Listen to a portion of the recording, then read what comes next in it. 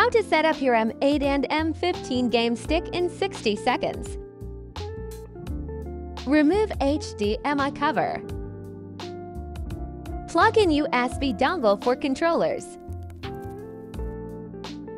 Plug small end of power cord into game stick.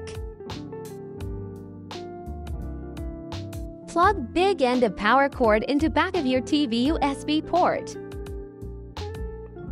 Plug in the HDMI dongle into your HDMI port on TV.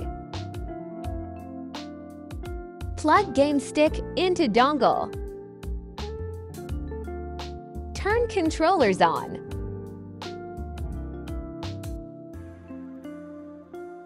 Exit game by pressing start and select. Thanks for watching and have fun with your retro game stick.